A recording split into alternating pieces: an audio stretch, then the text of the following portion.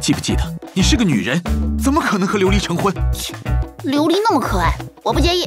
李瑶哥哥说那个糖可以让人品尝到心意。你看人家小郡主和淳风两小无猜好浪漫哦。你还笑得出来？